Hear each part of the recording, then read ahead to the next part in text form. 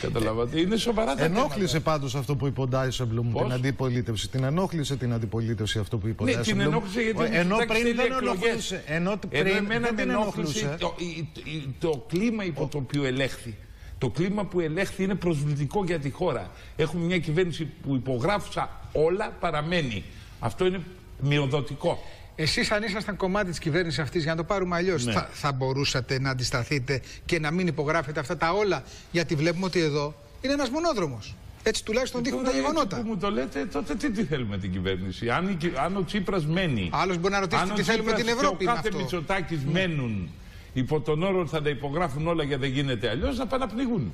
Συγγνώμη, αν δεχθούμε σαν λαός Το μαγικό μια κλειδί. τέτοια άποψη που λέτε. Το μαγικό κλειδί ποιο είναι όμως, Το μαγικό έχετε κλειδί εσείς, είναι θα να, μπορούσατε να, να το χειριστείτε; αποκτήσουμε μια κυβέρνηση που να κάνει μεταρρυθμίσεις, να πείσει, όχι να χρονοτριβεί, να κάνει ιδιωτικοποιήσεις, να ανοίξει επαγγέλματα.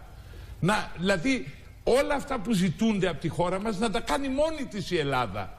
Όχι υποπίεση. Μέτρα, Να- μέτρα είναι αυτά και σκληρά μέτρα όμως. ε, σκληρά αλλά απαραίτητα για να πάμε σε μια ευνομία και σε μια κανονικότητα. Πόσα μέτρα όμως, μέχρι πού. Ενώ μέχρι τώρα πού θα μας θεωρούν φτάσει ο πύχης, κύριε αντάρτες Πρόεδρε, ότι ναι. κοιτάμε να στρεψοδικούμε. Η τρίτη αξιολόγηση λοιπόν έχει πολλά από αυτά που λέτε εσείς. Θα Ναι. στηρίξετε τη διαδικασία της τρίτης αξιολόγησης; Ακούστε, σας είπα, αυτή τη στιγμή η κυβέρνηση έχει κάνει ένα λάθος ξεκίνημα. Ή θα βρίσκεται Έχει άλλοτε κάθε 99 φορά τα χρόνια κόμματα- υπογράψει με βρετανικό δίκαιο. Εγώ δεν μπορώ να ψηφίσω τίποτε πα- πάνω σε ένα, μια λάθος τροχιά. Αυτή είναι μια λάθος τροχιά. Παρότι υποστηρίζει